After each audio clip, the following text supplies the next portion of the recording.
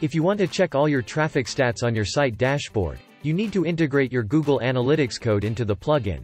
If you already have a Google Analytics account, go to 122 to learn how to integrate it into your website.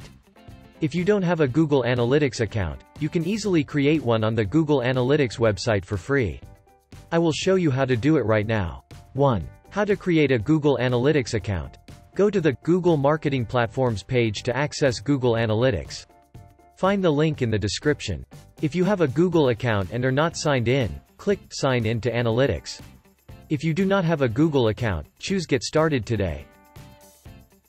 Click Start Measuring. Type in your account name, you can use your domain name for that, and click Next. Type in your property name, you can also use your domain name for that, and click Show Advanced Options. Enable Create a Universal Analytics property. Type in your website URL. Click the Create a Universal Analytics Property Only radio button. And then click Next. Fill in your business information. Click Create. You'll go to the Google Analytics Terms of Service Agreement section. Make sure that the boxes are ticked. Click I accept. Choose the types of notifications. If a pop-up window appears, click the Save button. 2. How to integrate Google Analytics into your website. Sign in to your Google Analytics account. Click Admin. Tracking info. Tracking code. Copy the global site tag script. Go to your site WordPress dashboard. Customization. Head. CSS and scripts customization, and paste the copied script in the head tag container for head elements field. Click Save Settings. Then save all settings. 3. How to make Google Analytics Live Stats visible on your dashboard. Go to the Google Developers Console. Find the link in the description. Select your country and accept terms of service. Click Agree and Continue. In the dashboard, click the Create Project button. Or click Select a project. New Project. In the Google Developers Console. Enter your project name. Click the Create button. Go to Dashboard. Click the Enable APIs and Services. Scroll down to section Other. Click Google Analytics API. Then click Enable.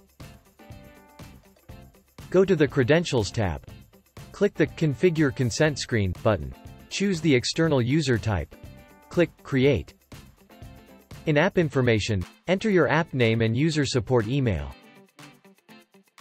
In Authorized Domains, click the Add Domain button. And enter your domain name. In Developer Contact Information, enter your contact email address. And click Save and Continue. Also click Save and Continue in the next two steps, Scopes and Test Users.